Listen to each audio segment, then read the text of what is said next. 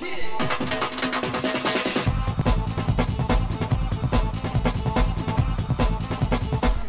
sports information world is absolutely changing, and we're moving from an industry where we had a great deal to do with printing and publishing and paper to a much more advanced solution online.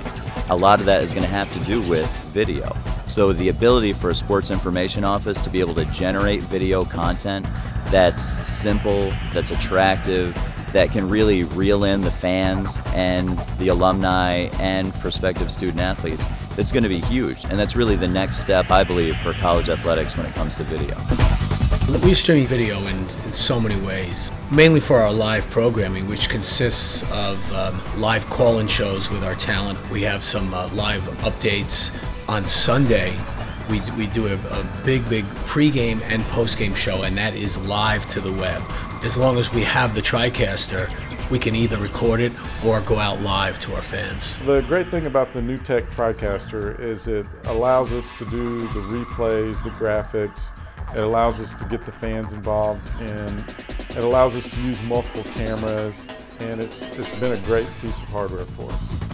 Here at St. John's, we use the TriCaster heavily throughout the course of every sports season. We do about 100 live events on campus. We do live streaming of those events, which also becomes a revenue generator for us because it's a subscription service. Without the TriCaster, we'd still be probably going to a regional sports network for the distribution of our product and probably only being able to afford 10 to 15 games each year. Um, now we have, you know, 400 games on each year because our schools are uh, essentially production houses themselves now. You know, it's a very simple piece of equipment to learn and use, incredibly versatile, you know, and schools will be able to provide the kind of exposure for their properties in their communities that would just make a huge difference in the number of people that can see it. One of the things that's great about TriCaster is that our students are completely involved in every aspect of the production. They're really able to run the operation in a turnkey way where we don't have to devote a whole lot of time as full-time communicators. We can kind of concentrate on other things and the students can really run a, a self-sustaining operation using TriCaster. That's been one of the big pluses as far as I'm concerned where we take the classroom situation, bring it here, they're able to learn more about this technology. They're, they're able to utilize the cameras. It's really a, been a real positive thing for us from a school environment.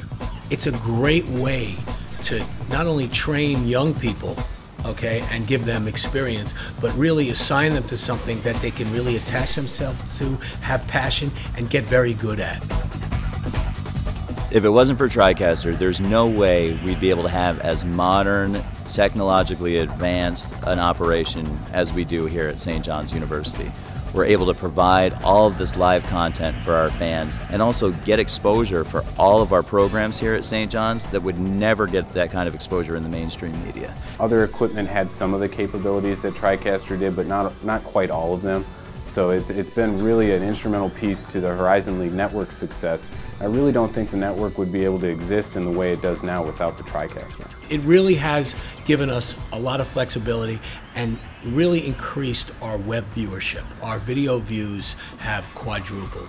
We are, we are getting in a record amount of video views on the web, which a lot of the credit goes to the TriCaster.